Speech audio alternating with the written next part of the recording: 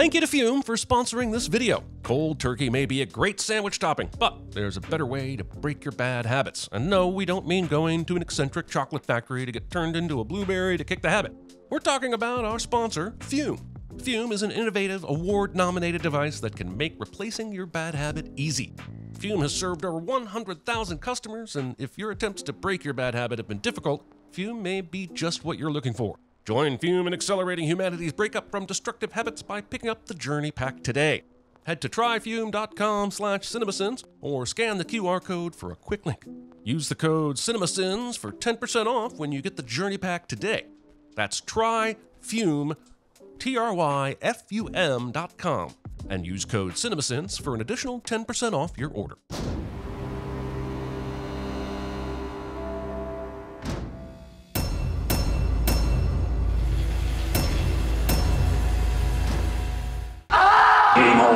Opening the seventh movie in a franchise with the ending to the first movie, even though the sixth movie ended on a cliffhanger, all of which makes me feel like I studied for the wrong exam, had I studied at all. Constantly interrupting your tense opening scene by cutting back to obnoxious 3D credits. This would be really annoying if I gave even one microscopic about what we're cutting away from. Hey, look, it's the doctor guy from the first film who cut his foot off. Congrats. You're about to f- up the only film in the franchise that was halfway decent and actually made sense on its own. This place is supposed to be abandoned, but even if it were active, there isn't a steam pipe in existence that would be hot enough to successfully cauterize an amputation. I know that for a fact. I mean, I've heard it the fact. Ah! For those of you that were excited to get this follow up to the first movie, tough. It ends here, but fear not, you'll get more in about 80 minutes when it all comes full circle like a poorly rendered 3D serrated plot boomerang to sever any remaining fondness you had for the franchise. I love the idea, as much as one can love an idea in a Saw movie, that one of Jigsaw's games happens in a public area. However, the movie expects me to believe that this entire contraption could be constructed in this very popular area of the city without anyone witnessing it, and I do not believe you, movie. What the f is this? What the f are you doing here? What the f are you doing here? Holy fucking f- that's a lot of f- to get through in eight fucking seconds. I would love to see the instructions Jigsaw left behind for whomever of his followers built this contraption that said, make sure everyone is fully clothed, but let's also make sure we're able to get some good cleavage shots of the woman. This has everything to do with the lesson I'm teaching, I promise. Hello, Brad. Here's your reminder that John Kramer designed this doll for a child, and not a child he didn't like, his child. So, because Dina has manipulated Chad 1 and Chad 2 into stealing a few things for they now have to choose who to murder in this death box? After variations on making dirty cops and the healthcare system pay over the last six films, we're now relegated to agonizing deaths of fing teens committing petty theft? What are you f staring at, you motherfucker? Ah! Do something! Yelling at people that have nothing to do with your current predicament and trying to make them feel bad is about the most Brad thing I could possibly imagine. While attempting to look at literally anything other than these two playing Tag You're Dead, I noticed that this doesn't even appear to be an abandoned shop. This place sells tools or mannequins or mountains or some did none of the employees think it odd that their storefront had people in it? Of course, the alternative is that the shop is abandoned and whoever set up the trap also went to the unnecessary step of window dressing it too. And f-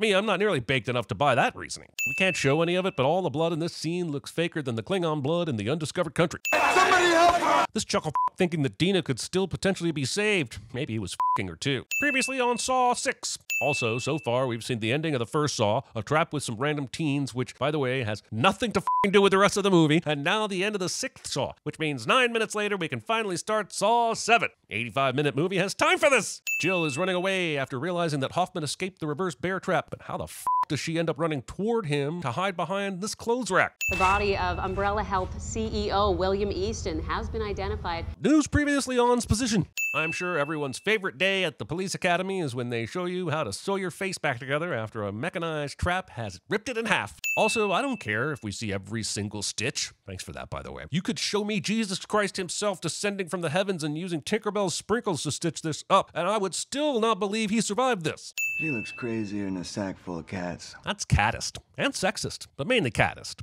I'll give you evidence, whatever you want, as long as I have your protection and complete immunity. Do we have a deal? Oh, yeah. Yeah, we have a deal. Unless I missed the part where Ryan Gosling also works in the district attorney's office, he has zero right to grant immunity. Gotta get rid of all my IDs, but only after I show them to the camera, like a completely normal human being not being filmed with. Now, you survived a trap created by the infamous Jigsaw Killer, correct? Discount Norman Reedus is actually full of and is just riding the Jigsaw victim wave. The problem, though, is that there have been so many bland victims by this point that I just assume he was in a trap and I'd completely forgotten who he is. Also, how has Bobby managed to get away with this deception? Jigsaw will even show up at a past book signing, meaning Bobby published this book while Jigsaw was still alive. Why would you ever take any kind of chance on incurring the wrath of a goddamn serial killer? Tell me more. Tell me about the actual experience. Yes, please describe your traumatic torture experience on what looks like a morning show aimed at middle America. Right then, something inside me started to grow. Weirdest boner ever. But that's the heart of the story. Fake story or not, telling a supposed jigsaw survivor what the heart of their own story is is pretty fed up. And so the sin, as always, is publicists. You want to know the only thing wrong with killing you, Jill? I can only do it once. Well, at least we're getting to the finish line of this Hoffman versus Jill story thread, and this isn't just some dream Jill's having. Damn it! Also, why would Jill's dream subconscious create a Hoffman with a stitched up face exactly like the real Hoffman? The last time she saw him, he was so fed up she could have checked his fillings. Seems weird that her dream is more concerned about shocking us than it is shocking Jill. Using 8 track cassettes in the year of our Lord whenever these movies are set, unless it happens to be 1980. Also, what the f triggered the cassettes to go into the player? Evan wakes up and starts wildly kicking and screaming, but how does the tape know that? Hello, Evan. You, your girlfriend, and your friends are all racists. I mean, f- racist, but it sure does feel like the movie threw this in the opening trap in here because it knows the real game doesn't start until the 30 minute mark. And clearly, we couldn't possibly survive that long without watching some assholes die in the most graphic way possible. Live or die, Evan. The choice is yours. This 30 second timer will take 1 minute and 26 seconds to get to zero. Evan had almost three times longer than he thought he did, and he still screwed the pooch. How exactly did the car start? I mean, once again, racist and all that, but that doesn't change the fact that this car remote starting is all the bullshit. Ceramic gnomes dressed up like elves. He was abusive. I tried to stop it before. It looks like this lady survived her trap by pushing her ex into a bunch of upside down lawnmowers? Putting aside the logistics of setting that up, this means that her game wasn't based on a choice. This was just a matter of strength, right? If anything, the abusive partner has the advantage here, and how is that fing fair, John? You want to know the best thing that happened to me after having to cut off my own arm? Okay, okay, Miss Pity Party. Yes, you were asked for a pound of flesh, you didn't have to cut your arm off. I think a leg or a couple of feet would work too. What the hell is a camera here for anyway? The better question is, how are you only just noticing it? Wouldn't everyone have had to sign a release form before having all their trauma recorded for broadcast? We should never be ashamed of what we've gone through. Because we are good. And we are strong. Pretty sure the main reason anyone got in the jigsaw traps to begin with is because they were not good. So that would be a very weird lesson to take from the horrifying experience. I'd like everybody to have a look at something. You better come take a look at these nipples cliche. We'll find out that his wife has no idea Bobby is lying, but how hasn't she figured out these scars are fake? I'm guessing they've touched each other's naked parts at some point, and Bobby doesn't strike me as the kind of guy that would actually scar himself for this long con. Remarkable, if not a little perverse. Imagine if this is when we first saw Dr. Gordon instead of that bullshit flashback at the start of the movie. Look, I'm not saying it would have saved the movie, but you know what? Fuck it. Keep it as it is. Don't change a thing. Let it burn. Also, I don't remember Cary Elwes ever having such an epically gravelly voice. It's like they wrapped the original Saw and said, Here, smoke two packs of cigarettes a day, and when you sound like Darth Vader gargling a chainsaw, we'll bring you back in. Joyce, can I borrow for a second? Sure. I'll be in the car. Joyce? Whoever's abducting Bobby sure is lucky that Center Parting here asked him to stay behind, allowing them to kidnap him and Joyce one at a time. Or have they been waiting all this time for an opportunity like this? Also, there's being stealthy, and then there's appearing out of thin air between shots thanks to the editors, and I'll let you guess which one I think is happening here. What happened to him? The director asked Ryan Reynolds to bite into this apple while standing over this dead person so we'd know which one of them was the asshole. They always tell you not to smoke at the gas station. Holy smokes, this isn't even a jigsaw victim? They literally just rolled in this corpse to make a smoking at a gas station joke? At what point did they stop making Saw 7 and start making Scary Movie 7? The director told Ryan Seacrest to stare at this lady's ass so we'd know he's an asshole after he lost his apple in the morgue. I'm at a junkyard on 58th. Why? Call came in about a car crash. Car crash. Why are you there? It's not just a car crash. Jesus Christ, get to the fing point! This conversation should have been over in seconds, but this cop decides to bury the jigsaw trap lead so far up his own ass that Amanda is going to have to come back from the dead and cut it out of his abdomen. How many bodies? Enough pieces to make four. Hey now, that is making all the assumptions about how many pieces each person started with before the trap. Why them? Why now? Maybe I could answer that if I had a fucking clue when now is. These movies have abused my trust so much, for all I know, this is taking place after Spiral. What could possibly have triggered that monitor to turn on? Does Hoffman just have to hang out and watch the camera until Bobby wakes up? I can't even figure out how he has time to set up two different games and try to locate Jill to kill her. Movie does not understand how actual time works.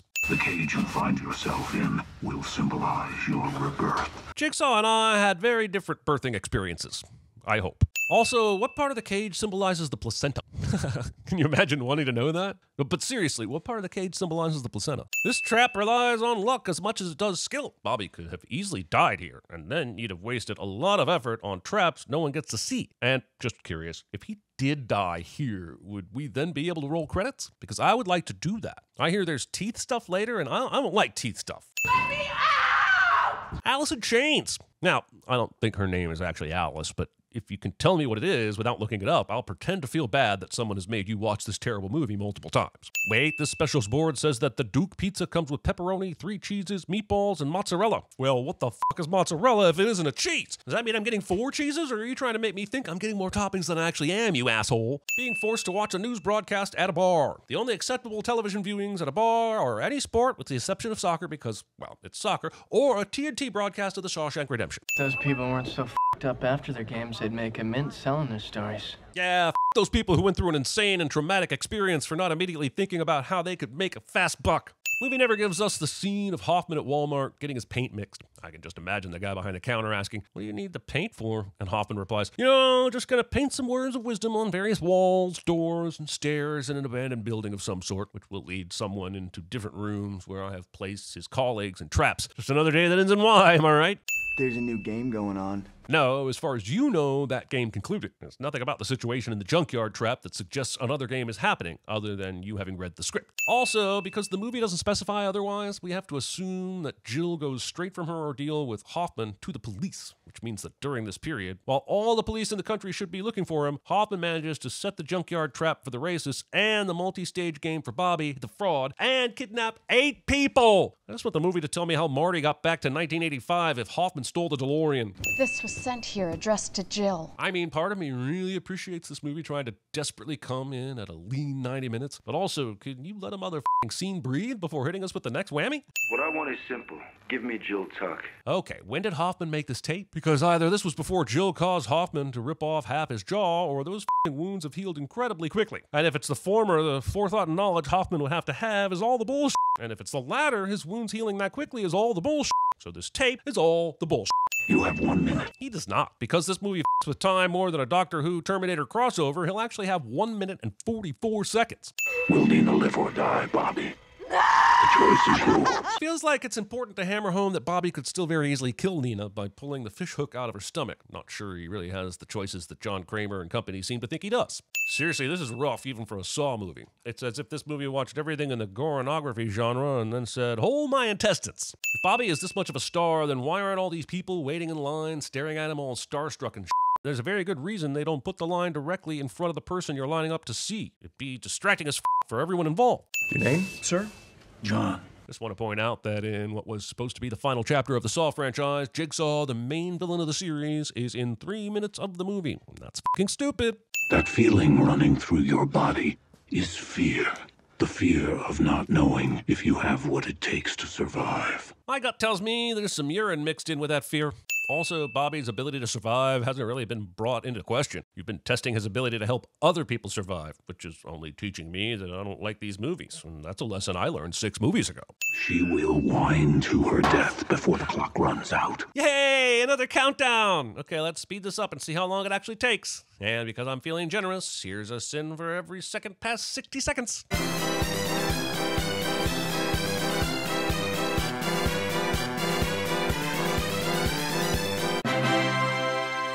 Also, what really sucks is that Bobby actually did hold out for around 38 seconds. Okay, Hoffman could be rigging the games, but don't act like Saw wouldn't beat us over the head with it if that were the case. No! No! Even though Bobby was just told exactly what he had to do to free Suzanne, he still runs away from the lever and wastes precious time seeing if he can unstrap her, which he knows he can't. Bobby is fucking worthless. What are the chances these metal attachments going straight into Bobby are not hitting any major organs? I'm willing to lay my bet around the line of not likely. I don't blame you for not giving me Jill Tuck. Hoffman didn't even tell Gibson where to give him Jill Tuck in the last video, so not sure Gibson could have granted that request regardless. Look to where you're being led. This obvious trap leading Gibson to a location is so obvious it came in an email where the subject line is I'm here, and Gibson still doesn't prepare for this trap to be a trap. Look beyond the crossroad to the clear dawn. Do you see it? I get it. Let's go. Why is Hoffman being so cryptic here? Why wouldn't he just tell Gibson exactly where he needs to go? And if he needs Gibson to be at a certain place at a certain time, why not wait and send the email exactly when he's ready? Do you know where Joyce is? Asking your friend, who is currently hanging on for dear life at a fing game devised by a serial killer, if he knows where your wife is. Don't move! We're not on the ground floor, and a lot of this floor is missing. How did Hoffman or whoever put this trap together know that this dumbass wouldn't walk into thin air and die before Bobby even got there? If the noose around Cale's neck is not removed within 60 seconds. Hello, Jigsaw. You have spent your franchise abusing the sanctity of time itself. You promised to give your victims a set amount of seconds and then exceed those seconds like a monster with no regard for the nitpickers that so vigilantly care about shit like this that doesn't matter. This is your final opportunity to get your shit in order or your sins will be recorded for all time. Tick tock, motherfucker.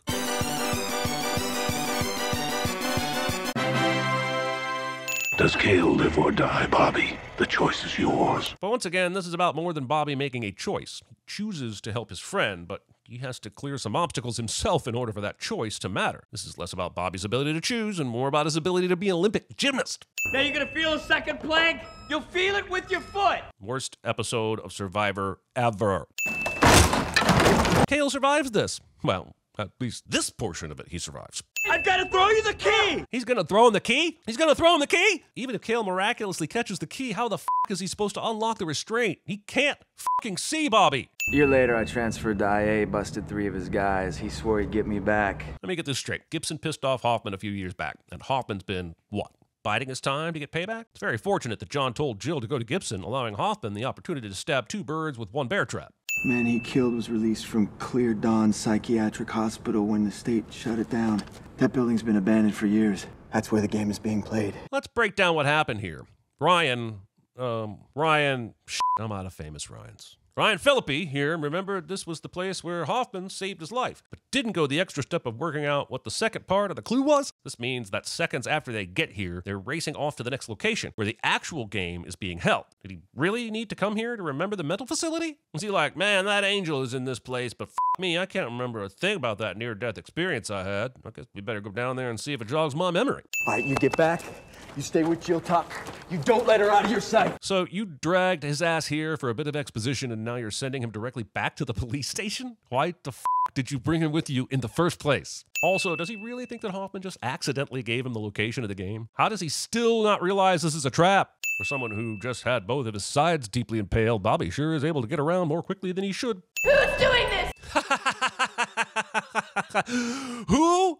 F***ing who? Who do you think is doing it, Joyce the Easter Bunny? Or is it maybe the local serial killer famous for putting people in traps? As you may have guessed, your decision will be as difficult as pulling teeth. I almost admire this movie's attempt to take franchise criticism and make it a plot point. That is, I would be if I thought it was deliberate. I don't want you to see this.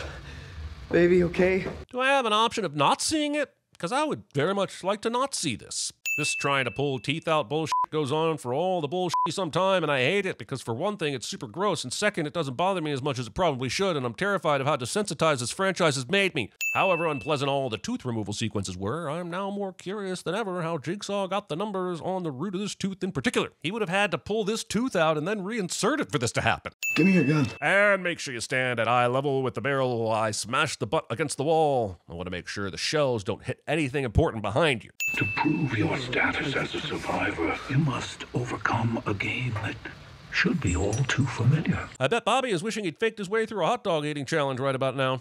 In order to free yourself and your life, you must hoist yourself with these chains. It really is a crime that Jigsaw is making Bobby hoist himself on hooks instead of a petard of some sort. Baby, I'm so sorry. Bobby has time for this. I lied. I was never in a trap. Bobby thinks Joyce has time for this. I'm your wife! How could you lie to me? Joyce thinks Joyce has time for this. Listen, you get every available officer back to the station. Why aren't there already plenty of officers at the station? I feel like guarding your prize witness to all things Hoffman is a pretty damn important posting to be at. Oh no, don't kill. What's his name? I know it isn't Ryan. Ah, f- it. Kill him. I don't care. Knowing this franchise, he'll be back in the next movie with a cane, vendetta and some very mild scarring. Also, stealing the finale from Breaking Bad three years before it happened. Yes, that's completely unfair, and yes, this movie absolutely deserves it.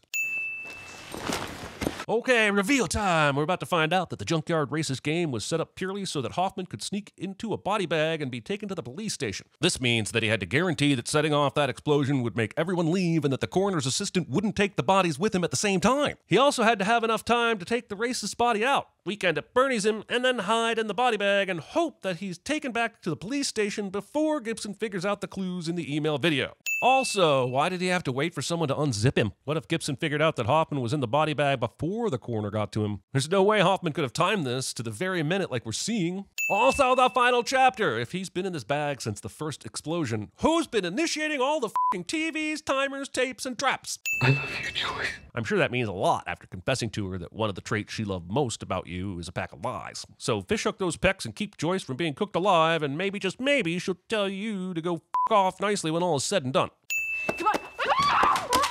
We just watched Hoffman stab three people in the neck, but for some reason he fumbles the tech lady? Why? Because she's a woman? That's so fucking sexist. She deserves to be brutally stabbed in the neck just as much as any man. Wait. Look, that sounded like a good thing in my head, I swear. I've checked so you don't have to, and it really doesn't look like these are going through any muscle, or not nearly enough to sustain Bobby's body weight. Weekend at Palmer's. Hiding here. Not stopping at Breaking Bad by also besmirching the finale from Back to the Future. I bet you think the fact that he didn't put the hooks in deep enough and is punished for that in the final seconds of the game will make me renege on that sin from earlier. It will not. There are no winners here. Game over! My favorite thing about this movie is how they turned Hoffman into Michael Myers Terminator immune to being stabbed in the neck supervillain for his send off. I love it. Such a smart idea. What? Is the tone of my voice suggesting otherwise? So poor Joyce gets cooked alive because she fell for Bobby's lie? Everyone else was complicit in some form, but Joyce has done f all to deserve this. And yes, I know Amanda and Hoffman's traps can break John's rules, but this is one of John's traps. He came up with this, so what the f did Joyce do to him to deserve this brazen bullshit? Man, Hoffman is lucky because whenever I need a chair to strap someone in and reverse bear trap their face, there just never seems to be a strap chair available. Liar, liar, wife's on fire. In addition to the nine police employees killed tonight, Jill Tuck, the wife of serial killer John Kramer, has been found dead. Wait, what? Hoffman just left the police station. How have Jill and the remainder of the nine police employees' dead bodies even been discovered not only by the police, but there has been enough time passed to get a report out on the local news? Holy shit! Imagine this reveal in a good movie. Also, rumor has it that the other two pig mask people are Chad 1 and Chad 2 from the start of the movie. And if that's the case, fucking f this fucking bitch ass no good piece of horse, horse movie right in the fucking hole because that is some shit. Congratulations, Dr. Gordon. You survived. Now, I know I kidnapped you, locked you in a bathroom, threatened your family, and forced you to cut off your own foot with a rusty saw. But how do you feel about working with me so we can do the same thing to a bunch of other people, some of whom are completely innocent? Is apparently something Dr. Gordon said yes to. Also, it's a good thing John Kramer was an expert at casting, building, and fitting custom prosthetics and orthotics. It's not like that takes a year or two of schooling and another year or two of residency to become certified at that position. Without you, my work over the last few years would not have been possible. So, bringing back the doctor from the first movie is basically a reaction to the criticism that John couldn't do the surgery stuff needed for some of the traps. As a result, we can forever hold this movie up as an example of why you don't listen to the fucking internet. Jeff's wife, Dr. Lynn Denlon. Ah, yes, everyone's favorite part of the Saw franchise where they retcon just about everything that came before it and in turn make it all so meaningless. Having to watch this shot in two dimensions. You can't f***ing do this to me! He can.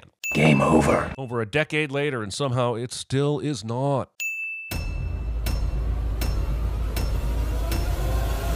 There, there was blood everywhere, and I just screamed. I just sat there and screamed. Hi, Brad.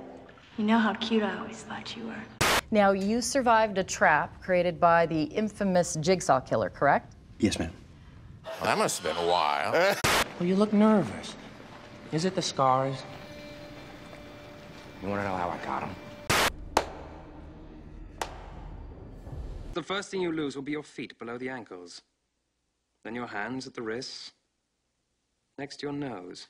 And if those people weren't so f***ed up after their games, they'd make a mint selling their stories.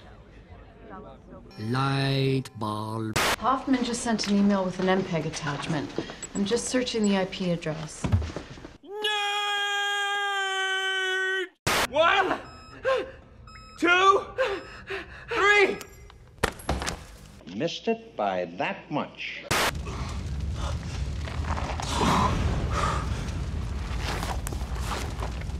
Why won't you die? You! No! As you wish. Game over. Can you fly, Bobby?